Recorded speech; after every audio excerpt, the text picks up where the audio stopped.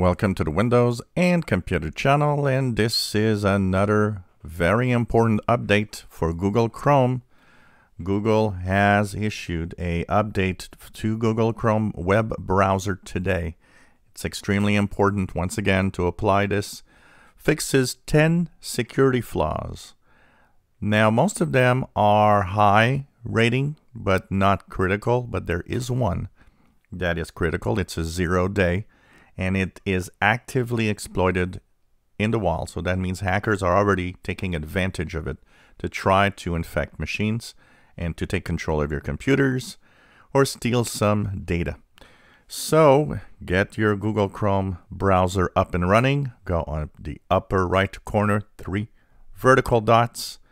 Go into Help, About Google Chrome, and make sure that you update to 86.0.4240.183 and you will be safe from the uh, zero day critical flood. It is already exploited by bad guys. So uh, basically this is something to check out. It's very important to update your google browser.